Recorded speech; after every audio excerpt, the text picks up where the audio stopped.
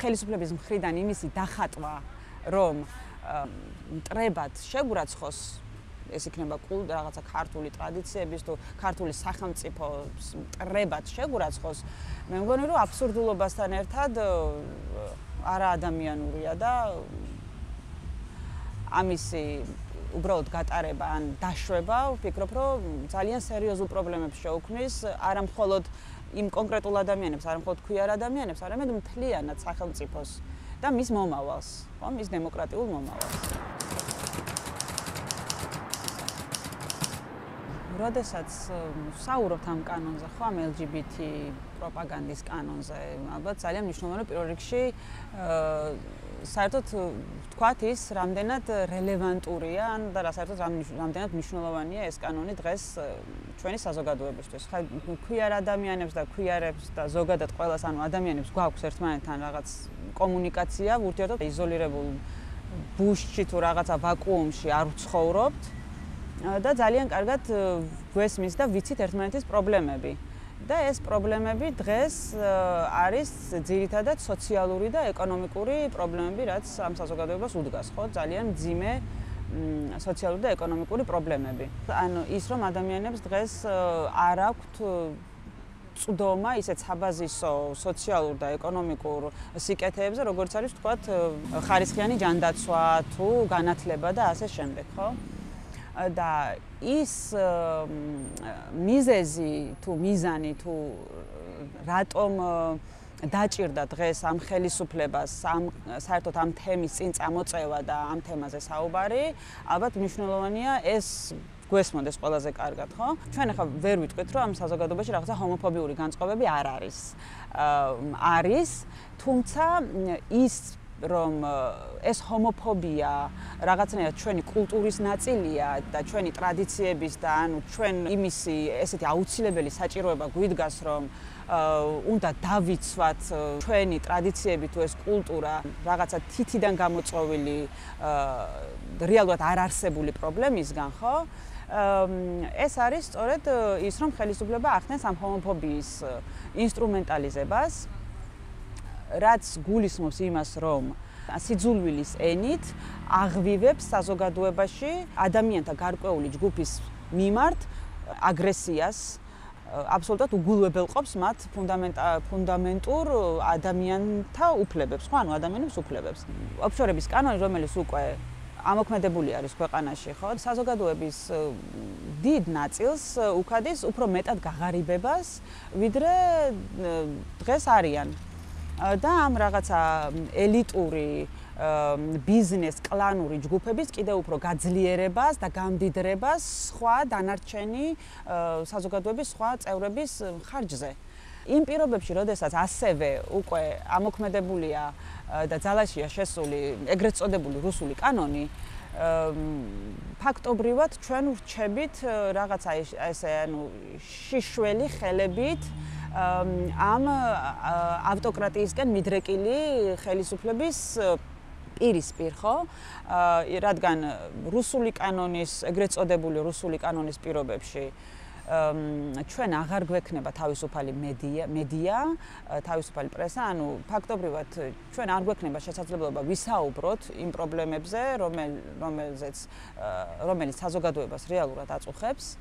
იმ პირობებში, როდესაც არასამთავრობო ორგანიზაციებს ეზღუდებათ და ფაქტობრივად ეკრძალებათ ფუნქციონირება ნიშნავს რომ ანუ რაღაცა სახელმწიფო სტრუქტურების გარეთ არაკონტროლირებადი აღარანაირი სივრცე აღარ გრჩება, სადაც თუნდაც რაიმე ტიპის სერვისი მივიღებთ, იქნება ეს იურიდიული თუ ფსიქოლოგიური თუ ასე შემდეგ. როდესაც ავტოკრატიაზე ვსაუბრობთ, ხო, რაღაცა შეიძლება ცოტა შორეულ პერსპექტივად გვესახებოდეს, ახლა რომ რაღაცა აი ავტო როგორ შეიძლება რომ საზოგადოება რაღაცა ესე უცებ და ესე მოკლე დროში, თქვათ ესე რაღაცა უყუსვა განიცადოს, ხო?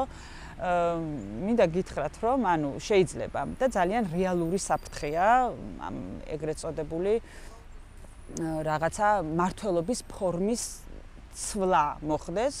ანუ დემოკრატიული პრინციპებიდან და ღირებულებებიდან უკვე ისედაც ძალიან მკვეთრი გადახვევა გვაქვს. თუნდაც ამ LGBT კანონის კანონს თუ შევხედავ და თვალსაზრისით რომელიც აბსოლუტურად მიმართულია ანუ ადამიანებს ფაქტობრივად არსებობას უკრძალავს ხო?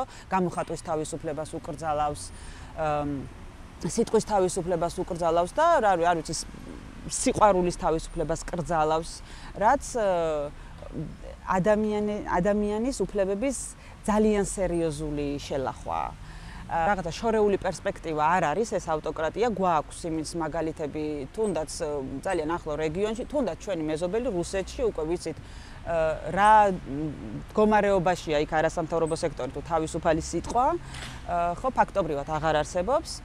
ფიქრობ რომ ძალიან მნიშვნელოვანია სწორედ ეს გვესმოდეს. ამ ამას ვსახავდეთ ჩვენს პრობლემად რადგან რეალური პრობლემა გარდა იმისა რაც უკვე ვთქვით ანუ ეკონომიკური და სოციალური პრობლემებისა ასევე გვიდგას უკვე დემოკრატიის პრობლემა ანუ დემოკრატიული ღირებულებების გაქრობის პრობლემა რაც ძალიან ბევრ ადამიანს და მათ შორის ალბათ განსაკუთრებით იმ მოწყვლად ჯგუფებს რომლებსაც ისედაც არ გვედგა ხო რაღაცა კარგი დღე თუნდაც ქვიარ ადამიანებს და ისედაც რთულ სოციალიზაციის პირობებში გვიწევს ცხოვრება.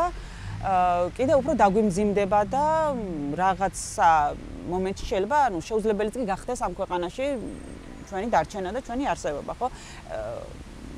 ეხა ეს შეიძლება რაღაცა ძალიან მძიმე სურათად თუ რაღაც არარეალურ სურათად იხატებოდეს, მაგრამ ძალიან რეალური პერსპექტივა არის და საშიში ამ ქვეყნის მომავლისთვის, არა მხოლოდ ქუიარებისთვის და მოწყვლადი ჯგუფებისთვის, არამედ იმ ადამიანებისთვისაც, ვისაც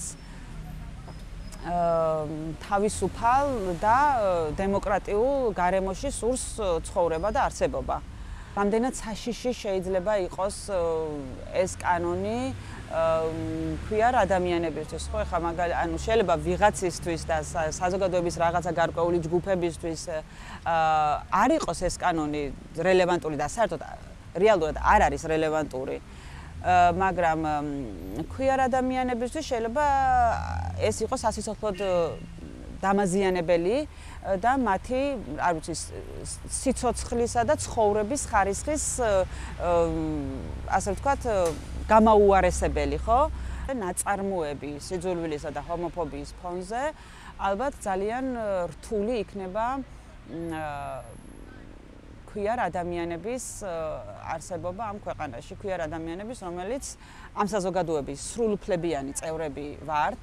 ხელისუფლების მხრიდან იმისი დახატვა, რომ მტრებად შეგვრაცხოს ეს იქნება კულ რაღაცა ქართული ტრადიციების თუ ქართული სახელმწიფოს მტრებად შეგვრაცხოს მე მგონი რომ აბსურდულობასთან ერთად არა ადამიანურია და ამისი რაღაცა ესე უბრალოდ გატარება ან დაშვება ვფიქრობ რომ ძალიან სერიოზულ პრობლემებს შეუქმნის არა მხოლოდ იმ კონკრეტულ ადამიანებს, არა მხოლოდ ქვიარ ადამიანებს, არამედ მთლიანად სახელმწიფოს და მის მომავალს, ხო, მის დემოკრატიულ მომავალს. რომ მიუხედავად იმისა, რომ ვერ ვიტყვით იმას, რომ ეს ჰომოფობია, ანუ ქვეყანაში არ არსებობს ჰომოფობია და დაცლილია ჰომოფობიისგან არსებობს, თუმცა ძალიან მჯერა და ანუ ასე ვფიქრობ, რომ ეს ჰომოფობია არის ნაწარმოები ჰომოფობია, სწორედ ხელისუფლებისგან, რომლებიც მიდრეკილნი არიან აი ამ რაღაცა ავტოკრატიული, კლეპტოკრატიული და ოლიგარქიული მართლობის ფორმისკენ და ამ ფორმის დამყარებისკენ და გამტკიცებისკენ. ძალიან მჯერა და იმედი მაქვს, რომ ჩვენი საზოგადოება არ დაუშვებს ამას და არ დაუშვებთ ამას.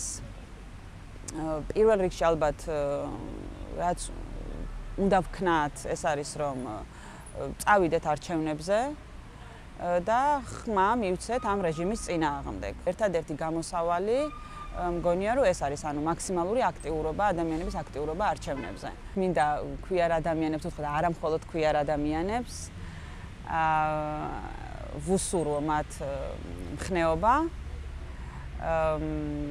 ბრძოლის უნარიანობა და ამ რეჟიმზე გამარჯვება.